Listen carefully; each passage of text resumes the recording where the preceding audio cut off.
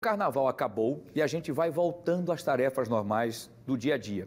Para saber o que está funcionando na capital alagoana, eu vou voltar ao vivo agora com Alan Garcia para que ele nos atualize então do que é que já abriu, do que é que está aberto, do que é que não está. Por exemplo, os bancos já estão funcionando? Depois que você passou esses quatro dias metendo aquele checão, gastando tudo, metendo o cartão para cima, vai ter que agora prestar contas que os bancos já estão abertos, Alan Garcia.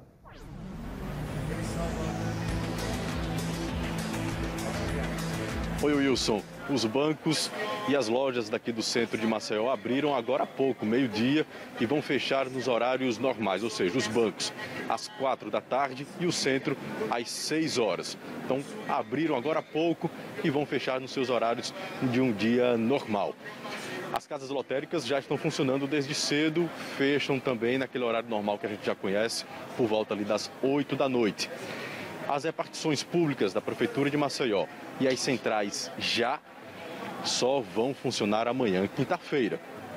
A CBTU informou que os horários das viagens estão mantidos, aqueles horários que a gente já conhece, não houve nenhuma alteração, pelo menos para hoje. Está tudo funcionando normalmente.